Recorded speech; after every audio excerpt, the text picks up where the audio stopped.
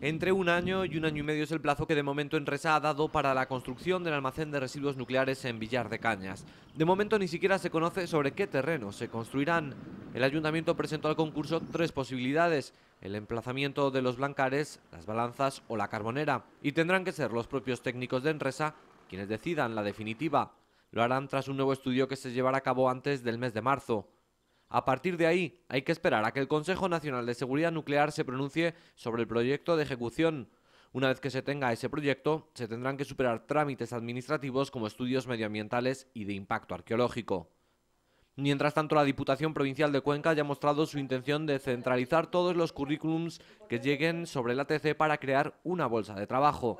Desde la institución provincial también quieren que el ATC sirva para el desarrollo de la provincia y que las empresas de la zona sean las primeras llamadas cuando se inicien las obras de construcción.